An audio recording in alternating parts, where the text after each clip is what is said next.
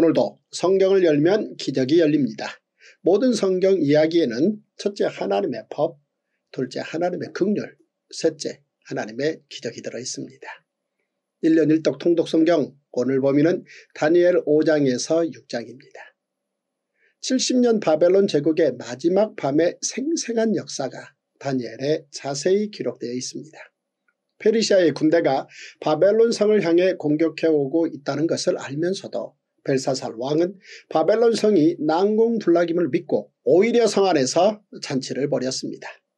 그날 잔치에는 천명의 바벨론 귀족들이 왕궁에 초대받았고 벨사살 왕은 그들을 위한 술잔으로 예루살렘 성전에서 빼앗아 온 성전 기명들을 사용했습니다. 바벨론이 70년 만에 제국의 문을 닫기 전날 밤의 생생한 기록이 이처럼 다니엘에 자세히 기록되어 있습니다. 자 이제 오늘의 말씀 다니엘 5장에서 6장을 먼저 읽겠습니다. 제262일 다니엘 5장 벨사살 왕이 그의 귀족 천명을 위하여 큰 잔치를 베풀고 그 천명 앞에서 술을 마시니라. 벨사살이 술을 마실 때 명하여 그의 부친 느부갓네살이 예루살렘 성전에서 탈취하여 온 금은 그릇을 가져오라고 명하였으니 이는 왕과 귀족들과 왕후들과 후궁들이 다 그것으로 마시려 함이었더라. 이에 예루살렘 하나님의 전 성소 중에서 탈취하여 온 금그릇을 가져오매 왕이 그 귀족들과 왕후들과 후궁들과 더불어 그것으로 마시더라.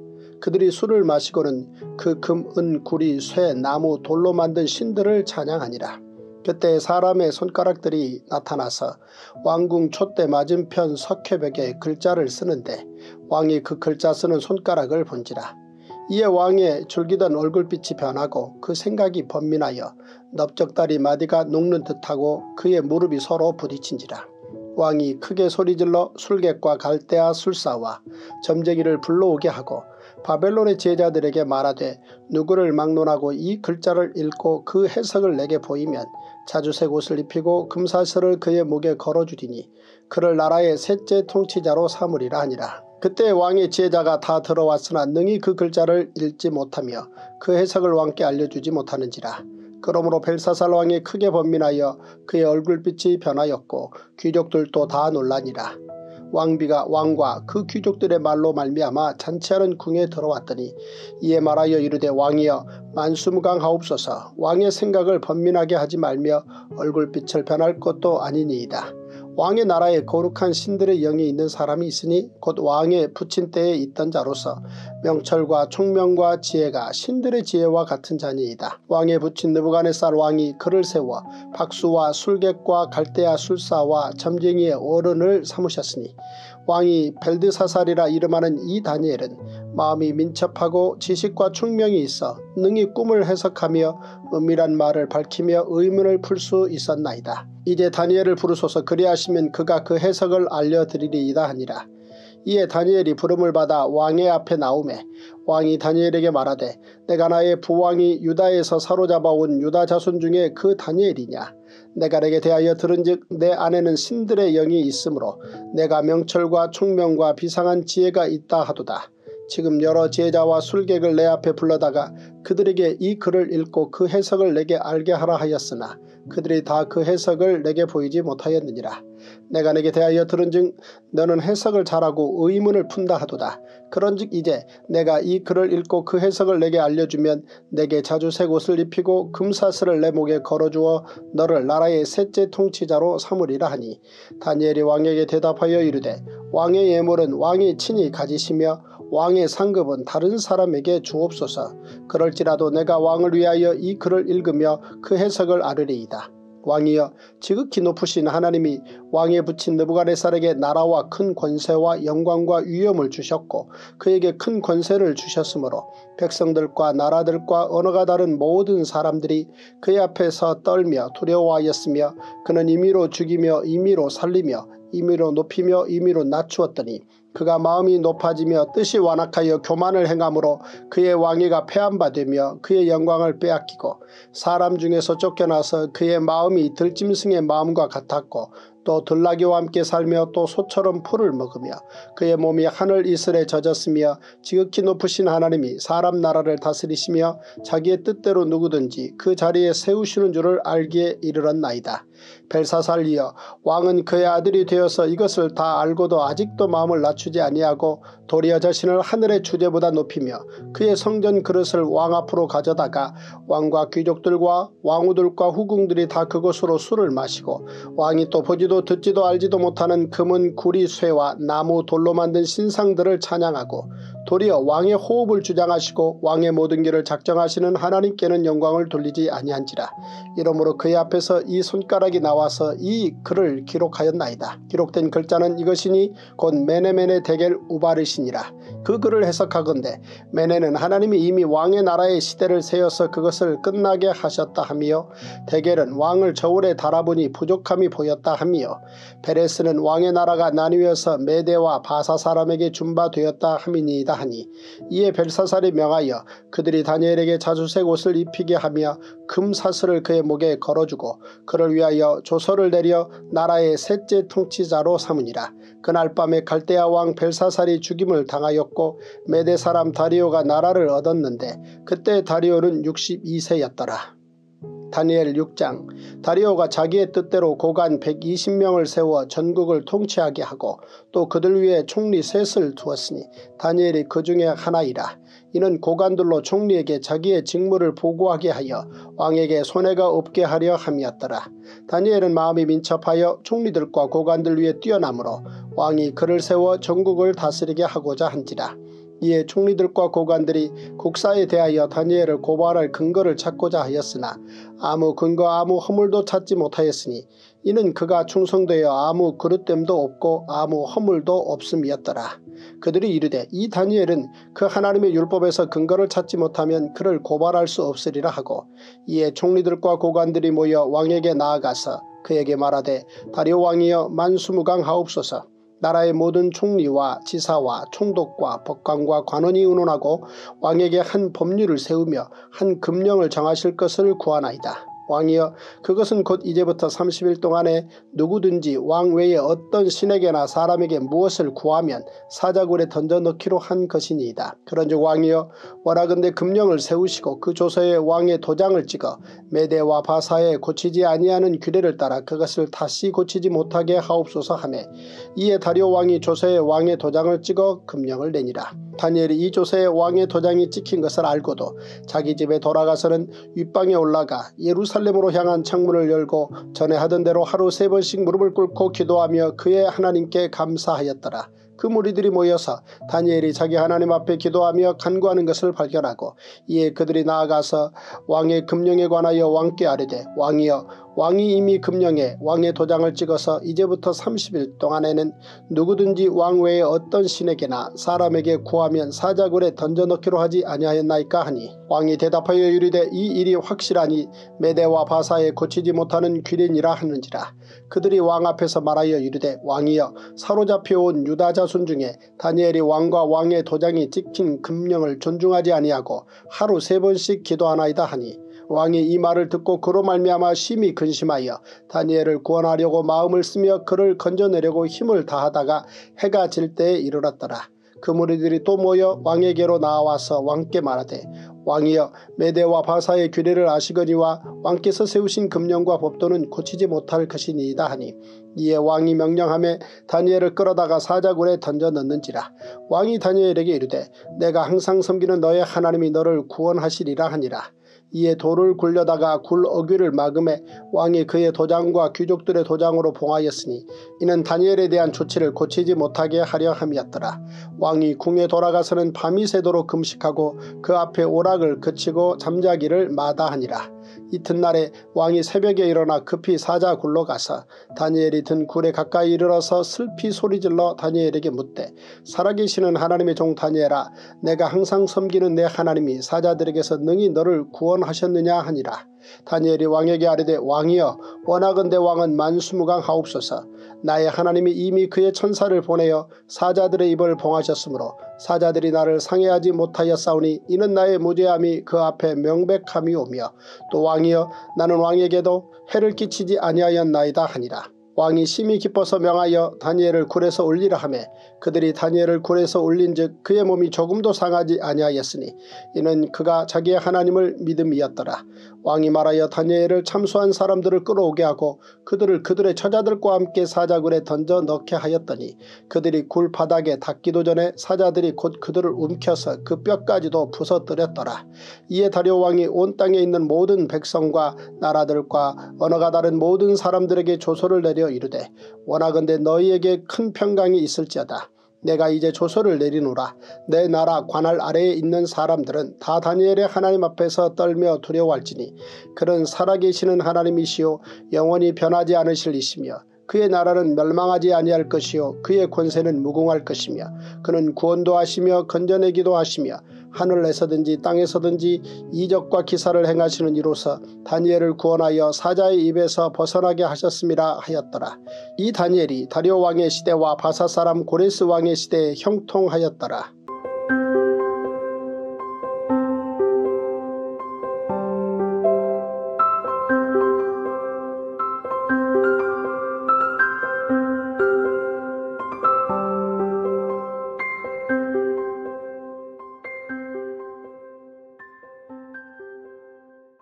오늘의 말씀 다니엘 5장에서 6장에 등장하는 성경 7위 즉 공간은 바벨론, 메데와 바사, 사자골입니다. 그리고 등장인물은 다니엘, 벨사살, 천명의 귀족들, 느부갓네살, 어느 왕비, 다리오, 120명의 고관, 고레스입니다.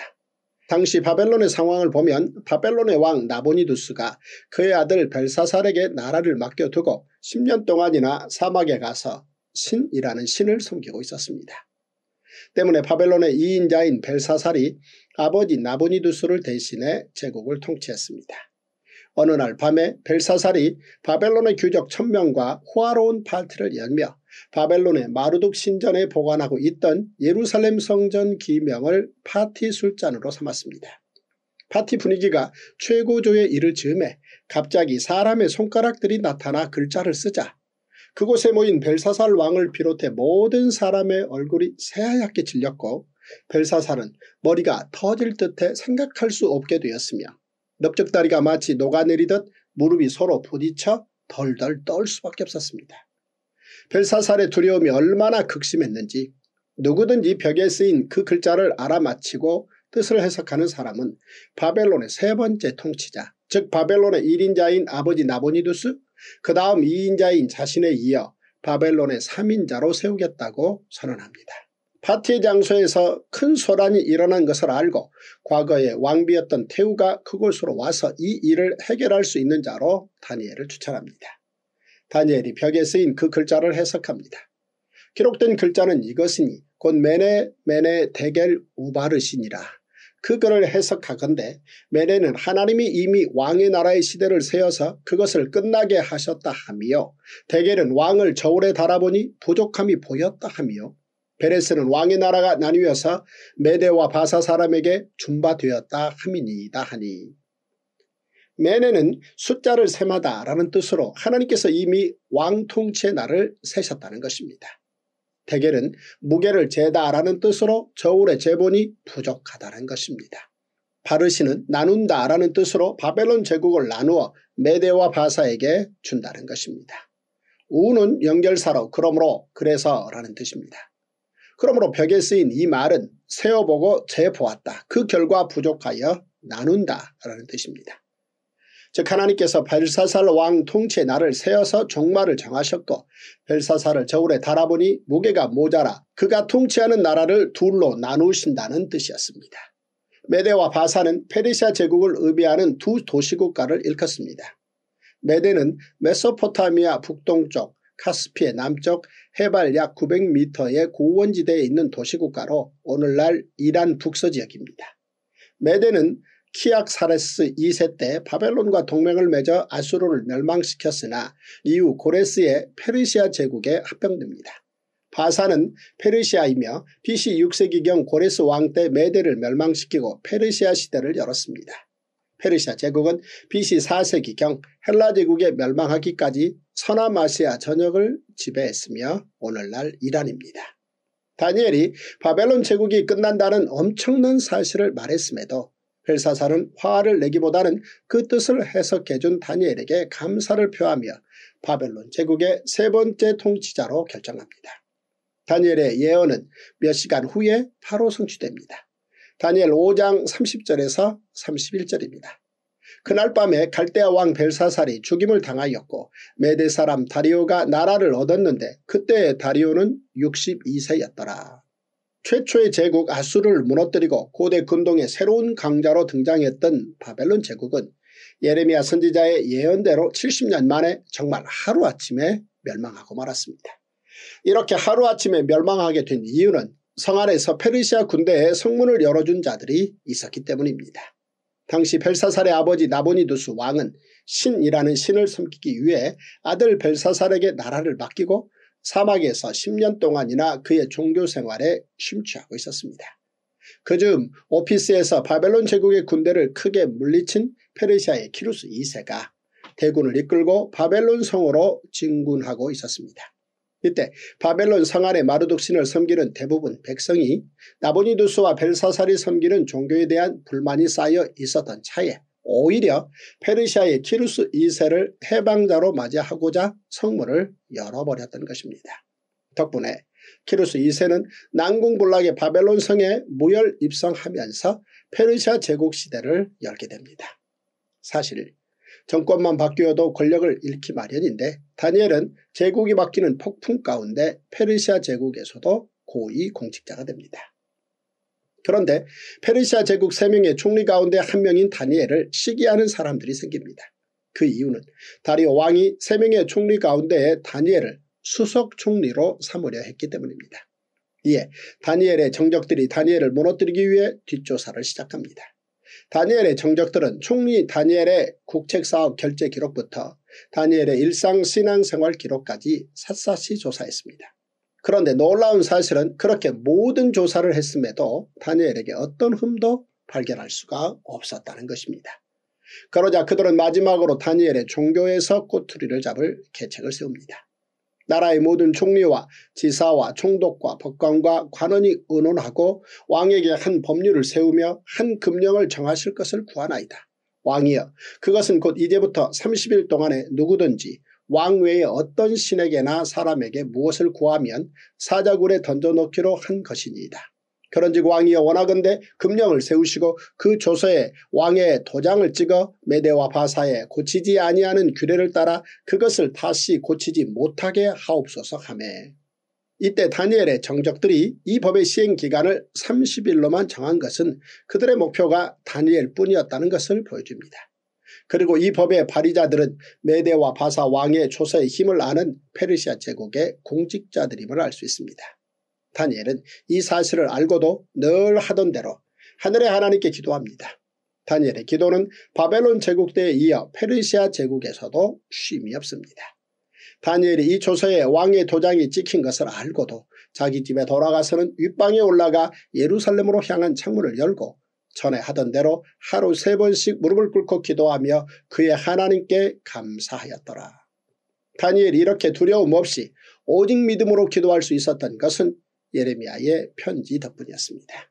다니엘은 예레미야 선지자를 통해 바벨론 포로 기간이 70년임을 알았고 제국보다 제사장 나라가 더 강하다는 사실을 알았기 때문입니다. 한편 다니엘이 예루살렘을 향하여 기도한 내용은 솔로몬이 성전 낙성식 때 하늘의 하나님께 기도한 그 내용입니다. 자기를 사로잡아간 적국의 땅에서 온 마음과 온 뜻으로 주께 돌아와서 주께서 그들의 조상들에게 주신 땅, 곧 주께서 택하신 성읍과 내가 주의 이름을 위하여 건축한 성전 있는 쪽을 향하여 주께 기도하거든. 주는 계신 곳 하늘에서 그들의 기도와 간구를 들으시고 그들의 일을 돌아보시오며 다니엘이 이렇게 기도를 쉬지 않은 이유는 이렇게 솔로몬의 성전 낙성식 기도를 믿고 혼자 묵묵히 실천하고 있었던 것입니다. 다니엘이 기도를 쉬지 않자 페르시아의 고위공직자들은 쾌재를 불렀습니다. 그러나 그들의 문제는 페르시아 왕이 오히려 다니엘을 위해 근심까지 한다는 것입니다. 그럼에도 결국 다니엘은 사자굴에 들어가게 됩니다. 그날 밤 페르시아의 고위공직자들은 오랜만에 깊은 단잠을 잤을 것입니다. 그러나 페르시아의 왕은 오히려 나이 많고 경륜 높은 신하 다니엘을 잃은 것에 화가 나서 잠을 이루지 못하고 새벽에 사자굴 앞에서 다니엘을 부르는 황당한 일이 벌어집니다. 누가 보면 왕의 이 행동은 제정신이 아닙니다. 어제 이미 사자굴에 던져진 사람을 새벽에 찾아가서 부르다니요. 그런데 놀랍게도 다니엘이 대답을 합니다. 왕의 부름에 사자굴에서도 살아서 대답하는 다니엘. 이를 세상 사람들은 기적이라고 말하고 다니엘은 하나님의 도우심이라고 말합니다. 이후 다니엘의 삶은 형통하게 됩니다. 다니엘 6장 28절입니다. 이 다니엘이 다리오 왕의 시대와 바사 사람 고레스 왕의 시대에 형통하였더라. 오늘도 성경을 열면 기적이 열립니다. 시대가 어려울수록 근본인 성경에 더욱 기초해야 합니다. 가까우신 소중하신 한 분과 오늘의 이 이야기를 꼭 공유해 주시고 구독과 좋아요 눌러주십시오. 성경 한 권이면 충분합니다. 와우!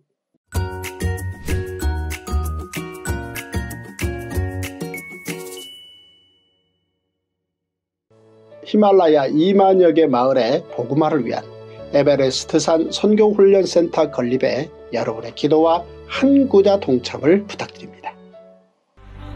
Dr. James O. Davis, the founder and president of Global Church Network, has repeatedly said, For my entire life, I've heard about the underground church in the Middle East, but now it is time to hear about the upper ground church in the Himalayan mountains.